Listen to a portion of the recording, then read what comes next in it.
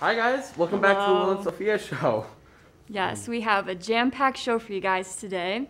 Yeah, we got let's see, we got student council, we Yes. got We got Coach Hart in the studio Yeah. today, and we'll have a nice feature with Mr. Howard to talk about his plants outside.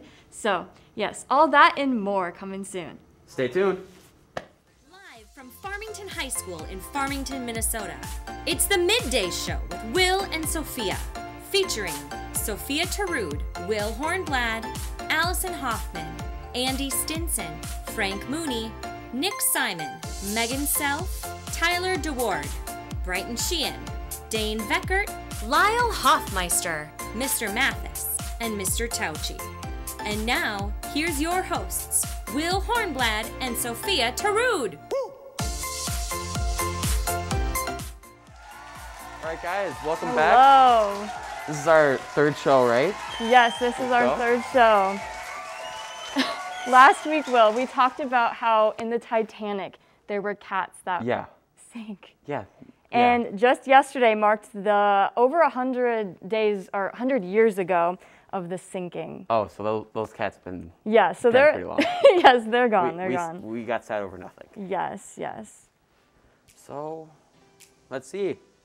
Just oh, um, if you guys didn't know, Prince Philip passed away a few days ago. His funeral will take place in two days on April 17th. It's going to be broadcast on BBC One. Wow, everyone can watch his funeral. I thought that was kind of crazy. Like, Yeah. like I don't know. It, it makes you wonder how much Queen Elizabeth has left, and like just how that's that, that's gonna work out because they've been around in the world for a long time, and they Yeah. definitely have their place in pop culture for sure. Oh yes, definitely. It'll be something, definitely something new. So, just Tuesday morning with yesterday, the was National Signing Day for a few amazing athletes. So, a big congrats to the girls lacrosse. Lexi Grove, she's going to Egan or Edgewood, Wisconsin. Cross country, Laura McGregor, University of Tampa. Girls tennis, Ashley Renwick, St. Mary's. And then We yeah. got Hogan Reuter going to Luther University or College. It doesn't say, just Luther. Um, then we got softball. Who's going to softball? Yeah, we got Maggie going to Northwestern. We got Kayla Herta going to Gustavus. and then Maddie Lee going to UW La Crosse. Then for girls hockey, we got Riley Furlong, and she is going to the University of Indiana. And then sit tight, folks. We got quite a few people going for baseball. We got Frank Vogel. He's going to Nazarene University. We got Noah Dersh. He's going to Century College. We got Alex Barrett. He's going to Northern Iowa Area, Area Community College. We got Caden Sterling. He is going to Florida Southwest State. And then we got Gareth Mayfor. I, I hope I pronounced that right. And he's going to Dakota County Technical College. And then for boys volleyball, we have Mason Mortimer going to Maryville University in St. Louis. And then for track, we have Tom Cow going to Concordia St. Paul. Yeah, so big congratulations to you guys. That's so exciting. You can continue your athletic career in college. And sort of continuing the train of track going, we got Coach Hart and um, Yes. one of the members of the tr- girls track team, Ellie Partington, down here in the studio. Thank you guys so much for coming down. Yes, thank you Yeah, guys. you bet. So we're gonna start this off by playing some golf. I know we did this last week, so we have our little thingy here, and then here's this for you guys. So if you guys want to come and Two of us here. competing. Oh, awesome. Yeah. Here's this Yep, for you, and then yep. here is the golf I'll ball. let you go first. There you go. So you're just gonna hit it into. So you're just gonna line up right there, like the edge of the carpet, right? Ellie, you're just gonna, so like the edge of the carpet right there. Yeah, you're just gonna line Yes. up right there. Okay. Put the ball down and uh, let's see if you can sink the shot. All right. Oh, You know, a little too was much force. A little too much force. That's all right. It's okay. Oh, And then it it. looks like it's Mr. Hart's turn. Yes, Mr. Hart. well, let's I'll see if I can match her.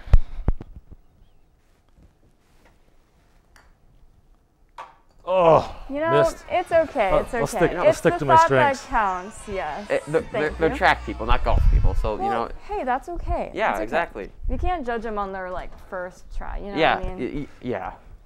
So, guys, how's the track and field team looking? The season just started, so that's pretty exciting. yeah, it's been, uh, I look back just a little bit, almost 22 months since we've last been able to compete. And so we're really excited to get out there. Uh, today ends up being our first um, meet. We get to go over to Lakeville South And yeah, it's going to be an awesome opportunity for people to kind of get out and compete for a change. Yeah. And then just yesterday, I heard you guys had the boys meet too. How'd that go? It went really well. Uh, the boys, a number of people um, hit some pretty remarkable times considering the weather was cold and a little wet. And so we're excited about that, that they're going to be uh, able to bring some, whether it be sprints, distance. We had some kids jump really well and hurdle really well. So, I mean, everywhere uh, the boys represented yesterday. Yes, very exciting. So, do you guys have any team goals or individual goals for yourself? Go ahead, Ellie. I'll let you answer that one. Um, I don't know about the team goals, but just for myself, like setting new PRs, getting just better every day. Um, I'd say for the team goals, probably just the same thing, just advancing as much as we can. Yeah, and then what events do you run? I run the 400 and then the 4x1. Yes, very exciting. That 400 race is just so Everybody exciting. loves a 400. Everybody should get to run a 400 at some point in their life. They would always remember it, I'm thinking. Yes, the So- coaches will definitely put you on a 400. that's for sure. But it's good. I would say for me, for my goals, uh, I, I think um, we definitely want to try and win the conference. The last conference meet, we were second to Rosemount, and we would love to be able to be the conference champions. And of course, some of my other coaches, uh, we've talked about this for a number of years, but our ultimate goal is to win the section and try and go on and win state. Yeah, definitely. For sure. Like, what would you say is just one message you want to continue to push to your athletes, athletes each and every day as they like put in their effort? Well, every day you're always kind of going against yourself, even though you're out there and you are uh, right in the lane next to somebody else and you're running against them. Um, measurement comes by the improvement that you get to have, and you know it's it's, it's one of those things that it's a hard sport, Yeah. and you you need to be dedicated and you need to kind of take care of your body and take care of yourself, eat well, sleep well. But um, that that's the biggest thing is you get better every day. For That's sure. what we always try to talk about. Yeah, definitely. Well, do you have anything else, Will? Um, yeah. What would you guys say is your favorite event? Like, you go to a track meet. What's your favorite event to watch? Yes. Go ahead, Ellie. Um, well, since I do the 400, I like watching that, but I like watching the girls jumping. I think that's pretty cool. Yeah. I- I'm a track fan, so I mean, I Yeah. everything is my favorite. Yeah. Whether it be watching a kid pole vault and really just do remarkable things with their body going over the bar up in the air, to those people who can grind out in the two mile and just finish and have a smile on their face. I mean, it, it's it's one of those things that everything. Like I, like I say, I, I just I get off getting to watch everything. It's For so much sure. fun. Yeah. Well, is there anything else you guys want to say at all? Um, no, other than I don't know, you know, we'll have to see what next week brings, but there might be the availability for fans, and we'll have some home meets coming forward. So, you know, we'd love to have people come out and give some support. Yeah, definitely. Well, thank you guys for Yeah. coming down today. It's good hearing from you guys. Yeah, thank you. Yes. All right, well, you know what's coming up next? Is it who's in the elevator? Yes. Perfect. Last week we thought it was Lauby. But it wasn't. wrong. in the All right, elevator. you guys are good to go. Yeah. Bring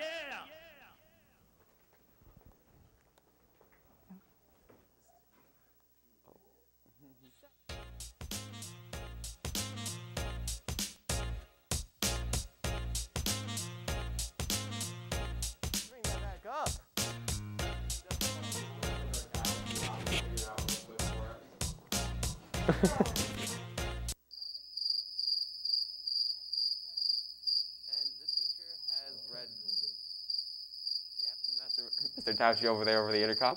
And then this teacher has read two books per month over the past 10 years. Wow. I think, I don't know, I feel like it could be like a language arts teacher maybe, because I mean, Yeah.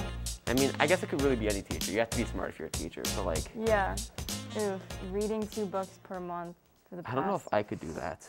That's a lot of reading. That is definitely a lot of reading. Yes. Well, we are joined today with the Student Council for the Homecoming Court. Hello, guys. Thanks for coming in today. having us. No, it's no problem. So, what do you guys have for us? Um, we are here to talk a little bit about Homecoming Week, which is next week, April 19th through the 30, the 23rd. Um, we have these little posters hung up all around the school, and those large, long ones on the main staircase as well that have all the information you need on them. Um, starting Monday, the 19th, we have Tourist Day, so dress up in your your best tourist outfit. Tuesday, the 20th, we have Decades Day, which is really open ended. So, whatever your favorite decade is, show up as that. Um, Wednesday, the 21st, we have Masquerade Day, which we encourage you to wear either your favorite COVID safe mask or your most extravagant COVID safe mask. Then Thursday, the 22nd, is Tiger Pride Day. And then Friday, we have Coronation. Yes, Perfect. so Sounds like a really stacked roster of days. You know, definitely a lot of like variation. I like that's something that's really cool with you guys. Like each year you try to keep the days different.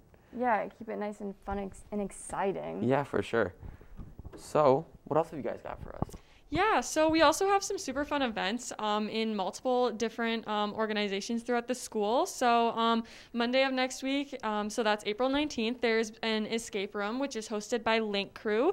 Um, this will be at 6:30, so meet in the Commons, and um, you want to have a team of six or less, and you'll be assigned a room, and it's all digital. So you're gonna want to bring an iPad for the escape room, and there's prizes for the first three teams to finish, and it, the event is all free and there's ice cream for everyone afterwards. So yeah, Yes, um, definitely some incentive there. So if Sure. you need more info um, on that, check with Miss Snowbeck. Um, and then on Tuesday, April 20th, there's a color run hosted by NHS. This will be at 5:30, so meet up by the East Doors. Um, and they want you to wear older clothes to get ready to get chalked because it's the color run. Um, Nice. And if for more information, contact Miss Johnson or Miss Beckman. And then finally, on Friday, April 23rd, coronation will be at 7 p.m. Uh, in the recital hall, and it will be recorded, so you can watch it later if you're not able to be there because there is a limited amount of people. But um, tickets will be given to coronation families and friends first, and if there is extra, um, it will be extended out more. But yeah, so we're super excited about that for all three of those organizations. Yeah, definitely. And it's very nice that you guys can accommodate for like distance people too. So Yeah. you can do it virtually. Yeah, Yeah. definitely. Well, thank you guys for coming down. Is there anything else you would like to share? No. I think- Sweet. I think we're Perfect. good. Thanks for having us. Yeah, no Yeah, problem. thank Thank you you guys. guys. All right, so Lyle is down here today, ready with the I should have known that. Well, I, well, well, I guess it's the wrong background, but who cares? Welcome to You Should Have Known That. I should know it. You should know it. Let's see if they know it. Here's our first question. In which sports do you compete in a half pipe? Yeah, half pipe. Pipe. Half. Half pipe. Hmm. Maybe like skateboarding.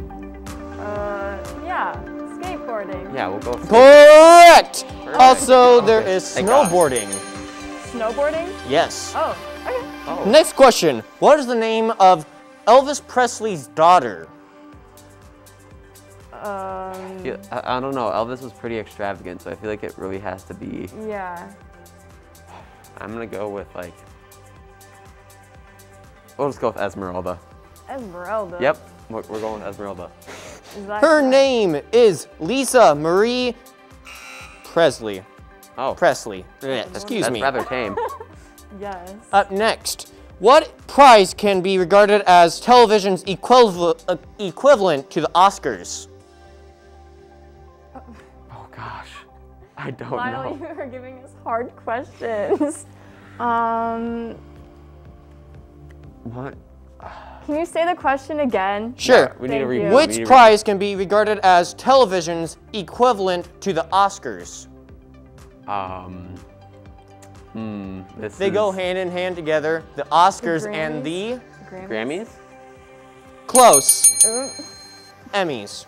Oh. Uh, same thing, just a little different. And last question. What what neurological disorder involves falling asleep involuntarily and randomly? I, that's not insomnia, is it? no. I It have is narcolepsy. Right, of Now- course. Of course, as, as one would know that. Yep. Yes. They should have known that. We should have known that. That's the name. That that's that's the title of the segment. we should have known that. Yep. Back to the desk. Thank you, Lyle. so we, we didn't do so hot last this week. You know, we I did feel better. like, yeah, last Maybe- week we maybe did it's a just lot like- better. got like just a way of balance things things out. You know. Every we do, other We do week, good one week. Next week, not so much. Exactly. There's still a chance for us. All right, well, you know what time it is? It's it's who's in the elevator time. part two. Part two. Who is in the elevator? Yeah! This teacher has a T-Rex sleeping above their whiteboard. And this teacher and their spouse are expecting the first child in September, their first child in September. Mm, I feel so. That's so exciting, though. Yeah, Yay, obviously, congrats. family. You know, starting a family. Um, Hmm. who could it be? I have no idea. I mean, we could keep guessing Lauby, but like that's kind of I don't know. I feel. I gonna- don't know. That's yeah, probably not. Like, her. I, I know my friend Jackson. He likes being the baby of the family in the Lobby family. So, um, who loves animals? Hmm. Could it be Mr. Howard? it could be Mr. Howard. I know he teaches the like zoo. Is it called zoology? The Small animals, maybe. No, I don't not think. small I know? I took a zoology class, and I'm pretty yeah. So that there's that. There's that. Yep. All right, Lyle. So we're gonna throw it back to Lyle, and he has the weather for us. You better believe it. Welcome back to weather. And now we have to have the right slide up. Thank you guys. So today it's going to be partly cloudy with a high of 50 and a low of 33. 36, sorry. Tomorrow it'll be partly cloudy, high of 55 and a low of 35. And Saturday it'll be sunny, high of 30, uh, 53 and a low of 34. And now our last game. Reverse taboo! Up first, what is this word? Skydive, jump, airplane, ripcord, open. Um, Uh, I don't know. I have a jacket now because I got cold, but um, Would you like me to repeat them? yeah, I let's think do I that. forgot how this game works. You, You're he- trying to guess Yeah, what he's all trying to guess these what are word. related to. Okay. I'm trying to guess the word okay. that he's. So, skydive, jump, airplane, ripcord, and open. Skydiving. No, parachute. It has to be parachute. Correct! Yeah. Oh, we, g- Same thing. okay, perfect.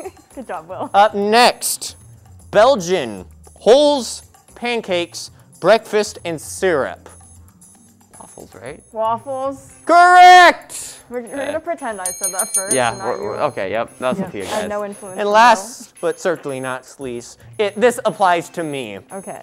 Attractive, gorgeous, handsome guy. Look.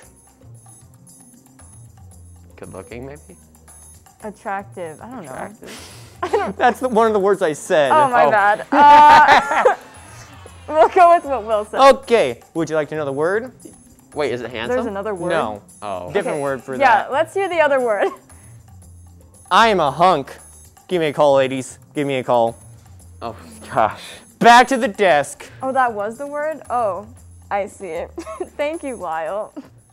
Very fun. Okay, so, so Will, we're gonna go to who's Oh in wait, the no, elevator. wait, let me let me do it this time, guys. I'm sorry. guys. I'm sorry. We got who's in the elevator. Are you, are you as excited about me? as- Part three this time. part three of who's in the elevator.